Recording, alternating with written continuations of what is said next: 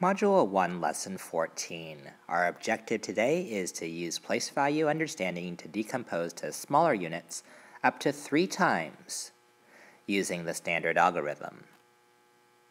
We'll be using tape diagrams, and we'll also see at least one word problem. Here I have the problem. Let's read it. 15,372 minus 3,485. Watch as I draw a tape diagram where I'll label the whole, I'll label the known part, and I'll also label the unknown part with the variable. So, this is the whole. Our whole is 15,372. Our known part this time, that number we are subtracting from there, from our whole, is 3,485. So we know this amount here. That's 3,485. What we don't know is our variable here, and that's the amount that we are solving for. And let's label that E. Let's look across the digits. Am I ready to subtract? No, I'm not. Do I have enough units in each of those columns? That is, is the number in the top here bigger than that number down below? In this case, 2 minus 5, no, I don't even have enough in the ones place. I regroup from the tens place where one of those tens, that's why the 7 becomes a 6, can be, and that 110 that is being regrouped is now equal to 10 ones, and that's why we can put a 1 there, and along with the two ones that were there, we have 12 ones, and then we're ready to subtract our ones. 12 minus 5 gives us, right, 7. Are we ready to subtract our tens? Nope. So the 3 becomes a 2. We take that 100, regrouping it to 10 tens, and that's why that 6 tens becomes 16 tens. 16 tens minus 8 gives us 8 tens. We're not ready to subtract here in our hundreds, so we'll take one of those thousands, the 5 becomes a 4, and the two hundreds become 12 hundreds. That 1,000 is also equal to 10 hundredths. 12 minus 4 is 8. 4 minus 3 is 1. And we make sure that we have that 1 10,000 there as well. So we have 11,887, which we have solved for that unknown. Can you read this whole problem? We had 15,372 minus 3,485 equaling 11,887. The other thing that we're going to do is that we will check our answer this time. And so this will be a change from what it is that we did previously. We'll take this 11,887 and we'll add it to 3,485. And hopefully, when we line those up correctly and we carefully do our work there, just like we had done previously with that standard algorithm in our previous lessons,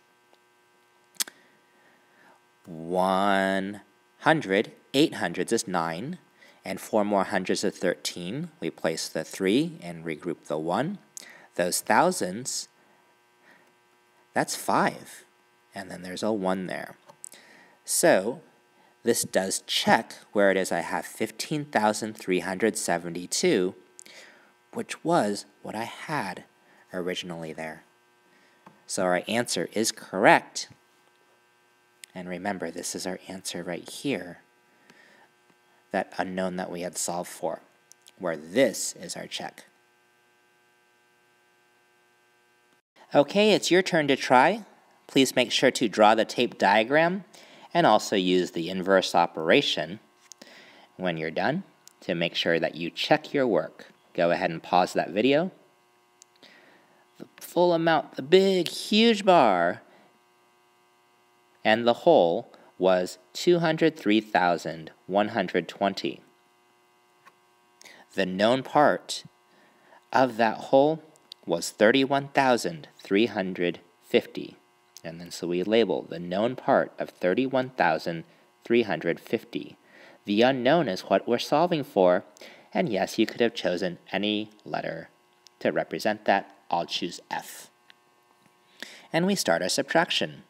In the ones place, 0 minus 0 is 0, and in the tens place is where we get our first regroup. Where do we regroup from? Right, the hundreds, where one of those hundreds became 10 tens. 12 minus 5 is 7. 0 minus 3, oops, can't do that, so I have to regroup from the thousands. The 3 becomes a 2, and that 0 can become 10. 10 minus 3 is 7. 2 minus 1 in the thousands place is 1. 0 minus 3, I cannot do that. Therefore, I regroup from the ten thousands place, where one of those ten thousands equals ten thousands. 10 minus 3 is 7, and that 1 can come down. Count my places off 1, 2, and 3 leaves me with F equaling 171,770. To check, I will add this amount here, what I solved for, to the 31,350. If you didn't do your check yet, go ahead and pause the video while you set up your check and you solve for it.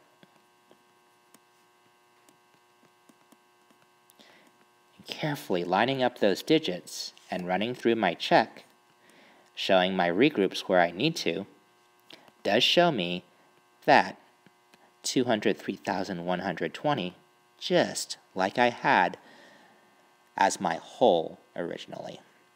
So my answer again is 171,770, and my check worked.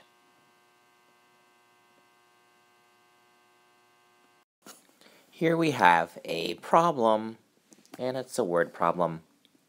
Take a moment to read this with me. Bruce needed to buy furniture for the school district. He has a budget of $201,125. He has spent $73,082. How much money does Bruce have left for furniture? Let's think about the operation that we're using to solve this problem. We would be using subtraction. And let's go ahead and draw a tape diagram that will represent the problem the full amount and the whole amount that he had and that he started with, that's the whole amount, was 201,125. So we'll go ahead and label that.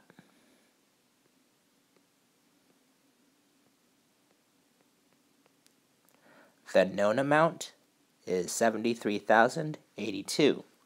That's the amount that he has spent of the $201,125. So we will label that known amount of 73,082. The unknown amount, or the variable that we're solving for, we'll label it m. That's what we're solving for. That will be the amount that Bruce has left for furniture. Let's write a focused answer. It'll have blank dollars left for furniture.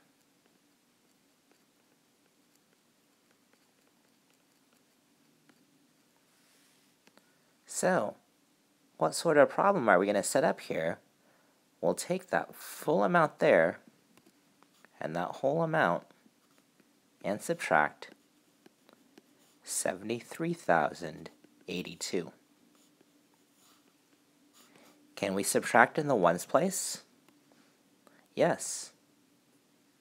However, in the tens place, we cannot do 2 minus 8. So we'll take one of those hundreds and regroup it to 10 tens. 12 minus 8 is 4. 0 minus 0 is 0. In this case, I cannot subtract 1,000 minus that 3,000, so I'll have to regroup. However, as you see, I cannot regroup from that 10,000s place. What I need to do is to take one of those hundred thousands to regroup it to the 10,000s place. So 100,000 equals 10 10,000s. And then I can regroup one of those 10,000s to 10 1,000s. So 11 minus 3 is 8. 9 minus 7 is 2. And then I can bring down that 1. So that Bruce has $128,043 left for furniture. If I run my check for this, I'm using the inverse operation of addition and carefully adding those two together to make sure that I have calculated the right number.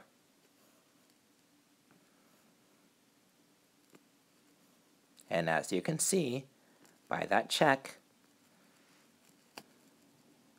the problem does check.